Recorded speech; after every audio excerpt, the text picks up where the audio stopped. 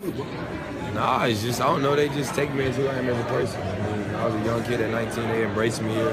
Now I'm 26, going on 27. I still get the same treatment. So it's a pleasure. And also, my dad was born and raised here, so that's a bigger part of me to want to stay here. John, you uh, dropped out Friday night. Friday night.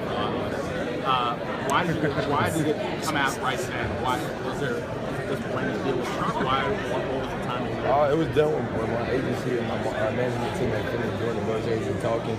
And uh, when they came with me to propose it, we knew they were going to want to answer by the next day. Had they agreed to everything that he wanted in the contract. So I just surprised people with a good Friday night. So I know some people probably went out and had some drinks after. John, did you notice any irony sort of in that same day that after a few hours Kyrie says Yeah, that was crazy to me. I didn't know that was happening at all. And then it was like, what? Sort of, sort of kind of the irony you're deciding to stay here to this situation. A lot of people find enemies. Um, one thing I always say is, I mean, it's kind of tough in this situation because I've been three straight finals. I'm like, I would want to stay, but you never know what type of relationship or whatever detail they have going on on the backside. Nobody knows behind closed doors. Um, and also, he's one of those guys that he wants to be the main guy. And it kind of is a difficult situation when you play with a guy like LeBron James that's so dominant. Everybody wants to go, always going to be the second guy to him. And you want to have that, it's kind of like I tell a lot of young guys when they first come into the league. Uh, it's kind of tough to get a lot of young guys to play together and play as one core because everybody's trying to build their name, start their own foundation. And uh, it's kind of tough when you're always a shadow to somebody else, and that's something I think probably got tired of. That game seven fatigue that you talked about today, was that something in the moment that you knew was happening, or did that happen? Yeah, in third, yeah, in the third quarter, it was like three minutes ago, I asked coach for a sub. He was like, "No, you, you got to play." I was like, "Oh shit, it's gonna be a long night for me." Is that why you're doing like the world tour workouts, basketball, you're doing biking, cycling, uh, boxing? Just doing a lot of stuff like I, in the morning I'll start treatment and I'll do weightlifting. Uh, then I do basketball. Then after that I go ride a bike for like 20 miles just so I can like ride and, and try to see how it feels when I'm fatigued. Try to get over the hump. Try not to answer questions and let everybody let them do their job and they came back with a plan and told me what the uh, options was and I agreed to it. What does it say about about this team that you've got yourself, Otto, and Bradley signed long term, and what do you think you three can do? Because you now do have that long term security. Well, I think every everybody, each one of us all got better. Ultimate goal is to see how how much better we can get to improve our team, um, and hopefully all the other guys are working just as hard as we are to try to get better. Uh, we have a main core in our first five that we know how well we're going to play together. Um, we just got to find a way to get our bench and get those guys playing on the right path and find the chemistry throughout those guys. I think we do that, we'll be fine. How nice is it to have a, a summer where you're not rehabbing or working towards conditioning?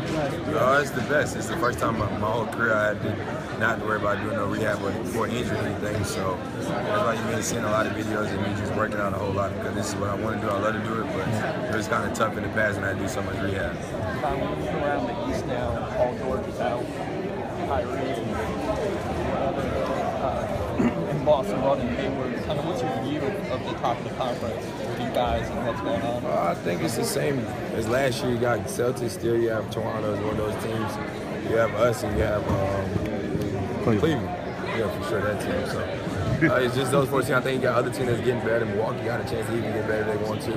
Uh, Sixers have a chance to improve because they got a lot of pieces and those guys stay healthy.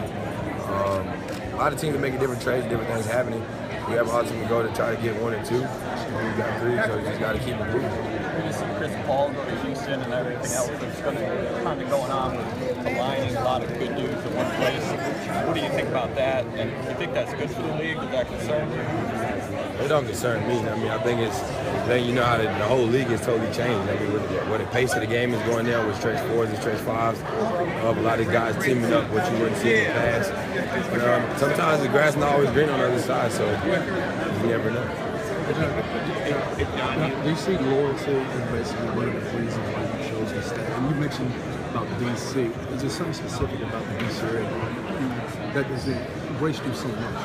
Yeah, like you could have waited another year. If you made the All NBA team, it would have added another year. Just kind of, how did you vet doing this now versus maybe earning a little One, more this later? is only my first time I make All NBA, so it's not guaranteed. It's not like I think you got like maybe five to seven guys that might make it every year. You know, so you don't kind of want to take that chance and risk of not making it and losing out. And I was like, why not just go ahead and get it done? Hey, now also it's all it's assumed that guys your age going into their third contract nowadays are going to at least test free agency. You've decided not to test free agency twice now. Just what are your motivations there beyond loyalty? Uh, it's a city that's been loyal to me uh, since day one. Uh, they drafted me. They're, they're doing things to try to make this team better and keep getting us better every year. I'm working as mu- much as I can to develop myself as a player and as a person. Um, I love being here. I love staying here. It's close to home for me. Um, there's no point in testing free agency if I know where I want to be. Uh, so I just go ahead and make my decision and get the job over with. Were you ever tempted? Have you ever come close to? It depends. I mean, after this contract, you see what where things are going, what's happening. But I, I have ultimate goal. What I want to do here. I know what team I want to play for for my whole career. I mean, you never know if that all can happen. Trades can happen, things like that. Uh, but if that happens, I wanted to be on my own decision, not because of the trade that we made. What does it say? Last contract extension, there were certain things that you don't have in this current one. Trade kicker, um, out, out, outdoor wasn't to have those things, especially a player Oh, well, just my age. I just sit back, sit back and let my age and my management team do a great that. Uh, we knew the money was going to be there. We just wanted to make sure everything was negotiated the right way. And I sat back and try not to answer questions and let everybody let them do their job. And they came back with a plan and told me what the uh, options was, and I agreed to it. What does it say about about this team that you've got yourself, Otto, and Bradley signed long term, and what do you think you three can do? Because you now do have that long term security. Well, I think every everybody, each one of us all got better. Uh, ultimate goal is to see how how much better we can get to improve our team, um, and hopefully all the other guys are working just as hard as we are to try to get better. Uh, we have a main core in our first five that we know how well we're going to play together. Um, we got to find a way to get our bench and get those guys playing on the right path.